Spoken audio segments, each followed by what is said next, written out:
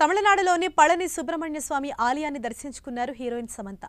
ఈ ఆలయాన్ని దర్శించుకోవాలి అంటే ఆరు వందల మెట్లు ఎక్కారు.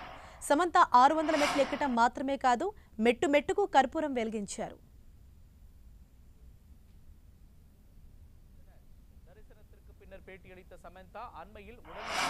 కొంతకాలంగా సమంత మయోసైటిస్ అనే వ్యాధితో బాధపడుతున్నారు. దీనికోసం ట్రీట్మెంట్ సైతం తీసుకుంటున్నారు. ఈ అనారోగ్యం నుంచి త్వరగా కోలుకోవాలని పళని సుబ్రహ్మణ్య స్వామికి శామ్ ప్రత్యేక పూజలు చేశారని సమాచారం. ప్రస్తుతం సమంత పూజలకు సంబంధించిన ఫోటోలు వీడియోలు వైరల్ అవుతున్నాయి. సమంత టీంతో పాటు తమిళ దర్శకుడు సి. ప్రేమ్ కుమార్ సమంత దర్శన ఏర్పాట్లు దగ్గరుండి చూసుకున్నారు. విడాకుల వ్యవహారం తర్వాత నుంచి శామ్ నిత్యం ఏదో ఒక అంశంతో వార్తల్లో నిలుస్తున్నారు. ఇక శామ్ తాను మయోసైటిస్ అనే అరుదైన వ్యాధితో బాధపడుతున్నట్లు ప్రకటించి అందరినీ ఒక్కసారిగా షాక్కి గురి చేశారు. యశోద సినిమా రిలీజ్కు ముందు ఓ ఇంటర్వ్యూలో సమంత కన్నీళ్ళు పెట్టుకున్నారు.